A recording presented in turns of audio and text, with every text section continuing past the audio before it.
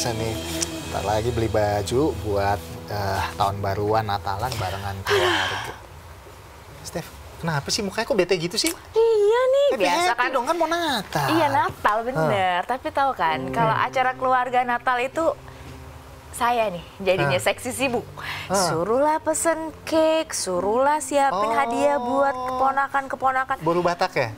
Harus sibuk itu kalau perempuan. Aduh, ta- Oh, tapi maksudnya Ah, kan ah. lagi kerja sambil kerja sambil harus nyiapin semua. Kenapa kayak ke aku semua gitu loh? Kan masih ada yang lain. Kamu keselnya gitu. siapa sih? Iya biasalah.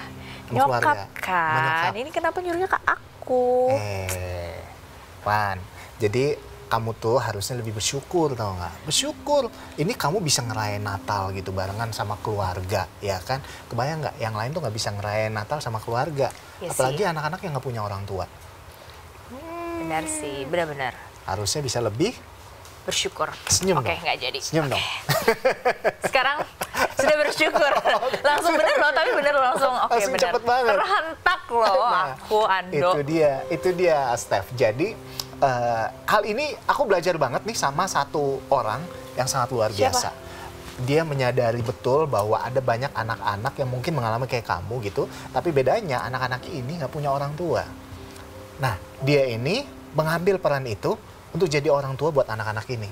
Wow. Wow, dia mendirikan satu yayasan, satu uh, panti asuhan gitu yang memang luar biasa dan seperti apa sih luar biasanya? Nah, bagaimana dia sampai meninggalkan mimpi-mimpinya? Ini tadi dia tahu nggak dia? Dia seorang pilot, Pilot. pilot, pilot. Tapi Wow. akhirnya dia memutuskan untuk uh, apa namanya? Pensiun. Uh, berhenti dari pekerjaannya, menghidupi anak-anak ini. Keren banget. Coba kenalin dong, Ando. Mau dikenalin? Langsung saja kita sambut bersama Pak Budi. Oh, Pak Budi. Pak Budi Suhardi. Selamat Natal. Apa kabar Pak Budi? Selalu baik. Selalu baik. Bertambah baik. Selamat ini, Natal. ini kenalin. Ini namanya Stefani nih. Pak Budi silakan. Silakan. Pak Budi. Terima kasih. Waduh, ini ini ini narasumber yang sangat uh, luar biasa.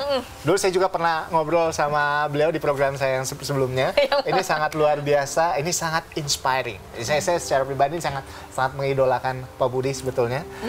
Pak Budi, jadi gimana kabarnya uh, anak-anak di Roslin hari ini? Ya, puji Tuhan eh, baik dan semakin baik. Ah. Selalu bertambah baik.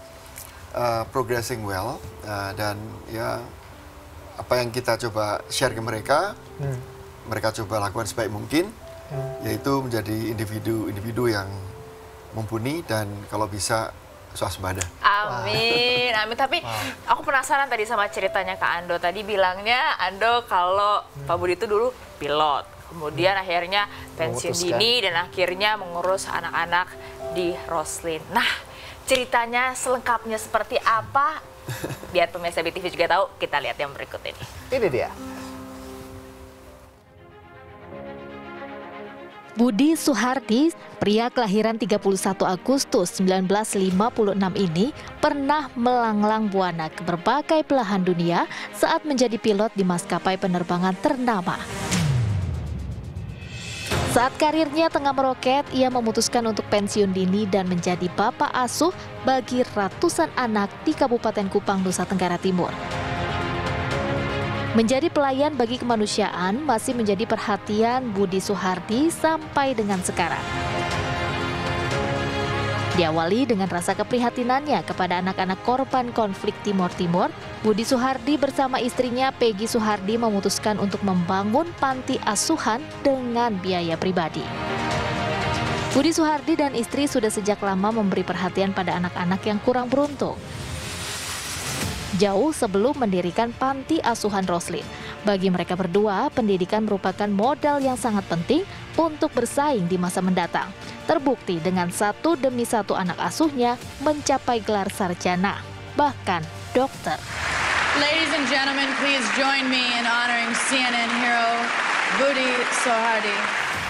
Atas kerja kemanusiaannya ini, Budi Suhardi mendapatkan anugerah CNN Heroes pada tahun 2009 di Kodak Theater Hollywood, Los Angeles. Tuh, Udah berlinang air mata. gimana gua nggak mengidolakan dia coba? Ya kan? Bener-bener. Keren kan? Luar Keren banget. Pertanyaan pertama pasti ya, tadi kan diceritain ketika lagi Aduh, menangis. Agak mengandung bawang ya, Sel? Oh, agak mengandung bawang tuh. Pak Budi juga menangis karena gimana ya kita manusia ini kan kalau misalnya lagi di puncak-puncak karir gitu, kok bisa tiba-tiba mau meninggalkan semuanya dan memberikan kasih buat orang lain? Eh, sebetulnya saya bukan puncak karir ya, puncak karir masih nanti belum nyampe, belum belum Ya, tercapai. lagi maksudnya karirnya juga sebagai Lagi pilot gitu. Banyak sekali yang pengen jadi Ya pilot dalam dan sampai karier saya sebagai pilot memang Buana.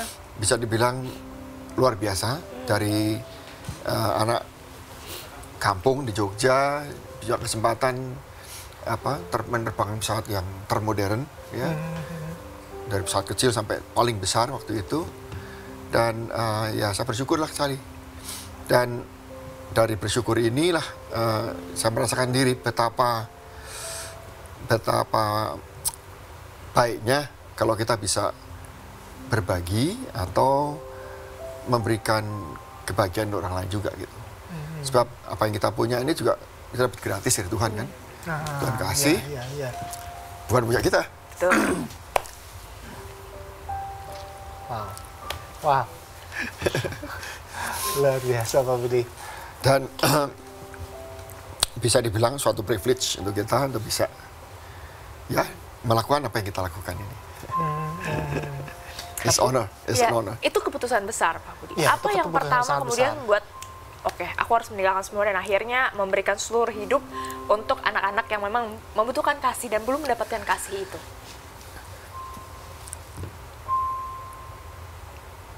Eh, sebetulnya yang saya lakukan ini ya wajar saja ya, seperti terhadap anak-anak saya. Hmm. Ya, cuman kita diberi eh, ya kelebihan dari yang lain, yang kenapa tidak kita bagikan ke yang lain.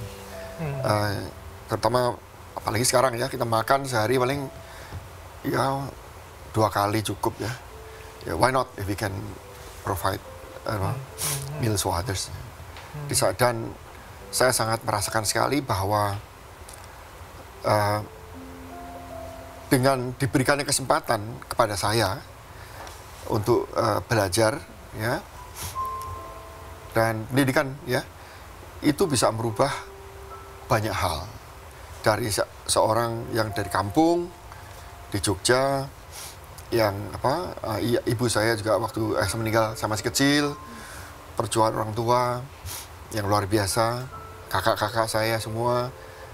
Nah sehingga kita bisa mencapai pendidikan yang bisa mengentaskan kita Hmm, nah ya. kenapa tidak kita coba duplicate Ya. kita duplikasi untuk anak yang lain. Nah, kalau semakin banyak anak-anak yang bisa mampu, eh, alangkah baiknya lah. Gitu. Dunia ini juga nanti akan menjadi lebih bagus lagi.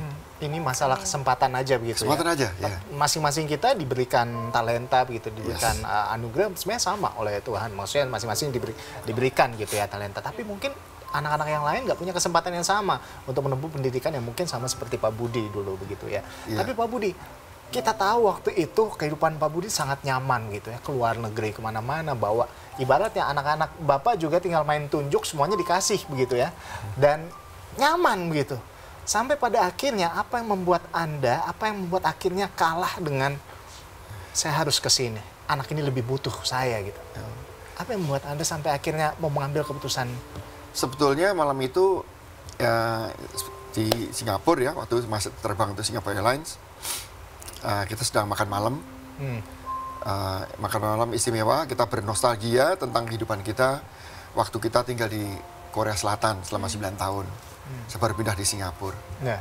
mengingat-ingat masa indah kita di eh, Korea Selatan dengan bernostalgia makanan, minuman dan cerita-cerita yang indah dulu sangat luar biasa, menyenangkan. Plus malam itu juga kita sedang meren- merencanakan eh, liburan liburan. keliling dunia eh, Oh. 33 hari Oh, oh. dan karena pekerjaan saya kita bisa satu keluarga travel dengan penerbangan terbaik di dunia waktu itu first class jadi makan malam enak mau liburan keliling dunia Wow.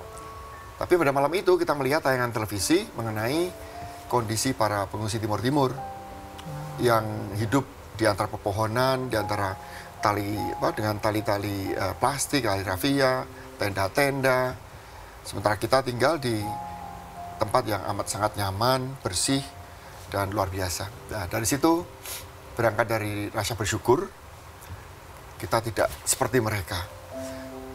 Tapi pada saat yang sama, setelah melihat tayangan televisi tersebut, kita melihat betapa menderitanya mereka, betapa peruluran tangan mereka, ya. Jadi eh, kita bersyukur, at the same time kasihan, bersyukur kasihan. Dan akhirnya waktu itu anak saya eh, Christian, usianya tiga setengah tahun, eh, dia nyeletuk, ya dia nyeletuk, nyeletuk. Daddy, eh, can we do something for them? Nah, Wow. Itu dimulai dari anak ini, Pak. ya. Itu bisa tercetus dari anak umur tiga setengah tahun. Eh, bisa dibilang kita ini korban celutukan dia. Oh, wow. Iya, iya, Iya. iya, iya. Akhirnya malam itu karena kata itu saya dan istri saya stun ya, loh. Oh, kita diskusi mengenai what can be done untuk membantu pengungsi yang baru saja kita lihat di TV tadi. Eh,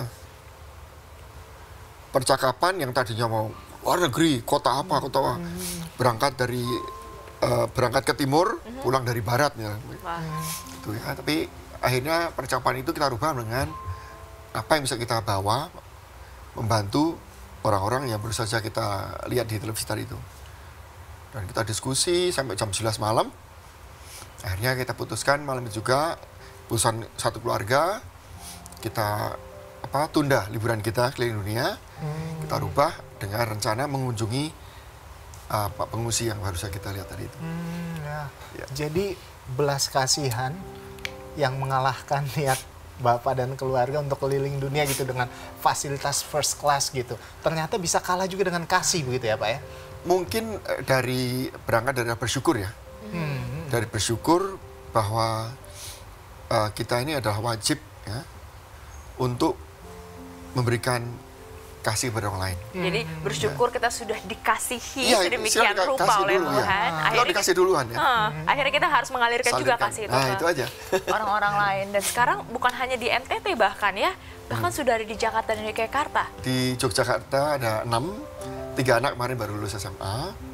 Kemudian eh, ada 23 anak di Jakarta. Tapi rencananya kita mau nambah di Jogja aja. Ya, sebab di Jogja lebih kota belajar, traffic lebih mudah. Dan kalau kita belanja di pasar jam 2 jam 3 pagi, itu kita bisa bisa menghemat hampir setengah. Oh, wow. gitu ya. Iya. Jadi di sini lulusannya sudah banyak begitu ya, Pak ya? Ya Sudah dari 2009 ya, Pak ya? dari tahun 2000. 2000, taruh Dari du- tahun tahun 2000, ya ya lulus S1 ada 33 anak. 33 anak Ya. sudah lulus S1. Ya, itu. Wow, wow. Dan ya saat ini ya apa yang ada di panti asuhan kita di Kupang Hmm. ya mayoritas anak-anak yang baru yang mulai masuk panti dari bayi.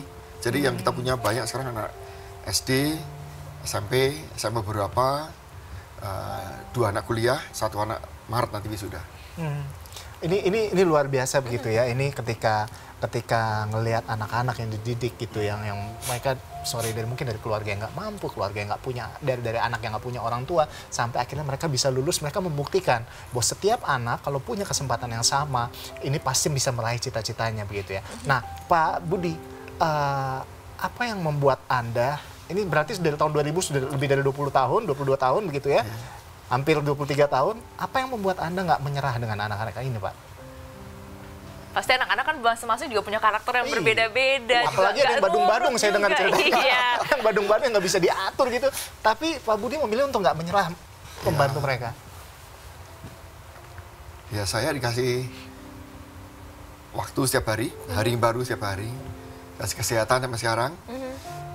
Ya bersyukurnya harus terus. Jadi sudah seperti anak sendiri juga kali ya. Anak sendiri juga kan Eh, enggak. Ya bagi mereka yang baru masuk bayi itu ya seperti anak sendiri tidur sama saya Oh. sampai sekarang. Bayi yang terakhir masuk itu umur 4 jam, Hmm. ya. Udah diserahkan ke Roslin. Eh, ya. Jadi ya, kita urus sekarang udah umur mau 8 bulan, 7 bulan lebih dah. Gitu. Itu nggak khawatir Pak, ini kan apalagi tahun depan katanya ini agak-agak kelam nih perekonomian gitu. Eh, kita du- tidak ada masalah dengan- global gitu. dengan Nggak makanan khawatir gitu dan makanan segala macam? makanan kan kita swasembada. Kita nanam sayuran sendiri, buah-buahan sendiri. Semoga nanti ada waktu saya bisa mulai dengan sawah padi kita lagi yang sedang rusak karena kena siklon kemarin. Ya. Itu kalau makanan, Pak. Iya. Uang sekolah kan nggak bisa gratis juga, Betul. Pak. Gimana nih, Pak? Ah, ada Tuhan kan. Betul, penyedia segalanya ya. Yang penting kita bersyukur, ya. Kemudian melakukan yang yang yang Tuhan apa sarankan untuk kita lakukan. Dan kalau Tuhan in agreement dengan kita, setuju dengan yang kita lakukan, maka Dia akan hadir. Wah. Dan kalau Tuhan hadir, eh, semua akan beres Anak-anak dengan Ro- baik. Anak-anak Roslin yang sudah lulus, balik lagi ke Roslin? Eh, tidak. Jadi anak-anak yang sudah lulus eh, kuliah, mereka harus keluar dari Roslin. Ya, Kalau boleh kembali lagi, tapi paling enggak udah sudah lima tahun di luar lah. Bantu-bantu jadi volunteer juga mungkin. Kalau mereka kembali. Kalau Ber- enggak, berarti Tidak ada no pemaksaan. string attach. ke- keluar gitu eh, dan ah, ibaratnya jadi jadi apa namanya pay it forward gitu ya.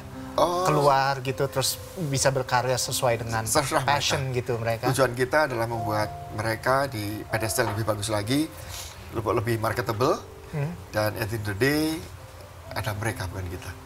Ah. Gitu. Ah, wah. Jadi kita bantu supaya mandiri. Setelah itu mereka tidak punya kewajiban apa pun juga untuk bantu kita. Nah, ini Pak, ini ini saya saya beberapa kali kan ke panti asuhan gitu. Saya ngelihat bahwa sesuatu yang paling luar biasa adalah ketika ada orang yang mau hadir sebagai orang tua buat mereka gitu. Kita tahu mereka nggak punya orang tua gitu. Mereka hadir dan Bapak sudah melakukan hal itu gitu. Apa yang membuat Anda tidak ada ada cerita apa tuh yang nggak bisa dilupakan mungkin dari Anda yang akhirnya muncul sebagai orang tua begitu buat mereka. Sesimpel mungkin mereka bilang terima kasih sejauh ini atau seperti apa? Eh, dengan berterima kasih kita sangat sudah bonus itu. Sebab kita melakukannya tidak ngarepin apa pun juga. Jadi yang kita lakukan yang, yang terbaik. Kalau toh mereka bisa apa berhasil, kita bersyukur ya. Dan kalau mereka nggak usah bantu kita lah, berterima kasih itu udah ada bonus. Ya, ya, apalagi ada yang udah jadi dokter. Bener, terus anak-anak juga bukan hanya diajarkan, bukan hanya eh, bersama-sama di sana tinggal makan segala macam, tapi juga diajarkan bercocok tanam segala macam. Iya, Semuanya itu iya. dari Roslin ya Pak ya? Iya. Ada cerita Natal terakhir mungkin ya. Ada cerita Natal mungkin yang menarik gitu karena kan setiap tahun gitu apalagi kalau anak-anak ya dikasih hadiah, dikasih Senang. kado itu seneng banget luar biasa. Nah, mungkin ada cerita Natal yang mungkin nggak bisa dilupain eh, Pak Budi. Kita setiap hari Natal ya. Oh, iya iya iya. Jadi apa namanya eh, kesukacitaan kita itu bisa tidak khusus Natal. Kita eh, Tuhan hadir ke dunia sudah dari dulu untuk kita tanpa kondisi apa pun juga ya. Yang mana akhirnya kita bisa merasakan kebebasan, kita bisa merasakan kasih Tuhan dari sejak dulu. Ya, Natalnya makanya kita rayakan tiap hari. Oh, wah wah wah. Dan eh, setiap hari melihat keceriaan mereka itu sudah sesuatu yang Itu kado Natal untuk Pak Budi. sudah Natal. luar biasa. Wah, Stefani belajar apa dari Pak Budi banyak hari ini? banget belajar em, mengasihi tanpa tadi. pamrih, mengasihi tanpa pamrih, mengasihi tanpa henti dan juga sumbernya adalah dari bersyukur tadi ya Pak Budi ya. Yes. Wah, saya sampai nangis loh tadi Pak Budi. Tapi jadi punya semangat baru ya untuk Betul Natal ini dan jadi makin sayang sama orang tua juga. Nah, harus harus harus sayang sama orang tua. Terima kasih banyak Pak Budi. Terima sudah kasih, Pak Budi, atas kami, waktunya. Sudah memberikan cerita, uh, memberikan inspirasi terkait Natal. Ingat kita harus berbagi, harus senantiasa bersyukur. Terima kasih. Terima Pak Budi. kasih. Merry Christmas, Pak. Merry Christmas. Selamat Natal Pak Budi. Salam Selamat Natal. juga untuk Siap. semua anak-anak di Yayasan Terima Kasih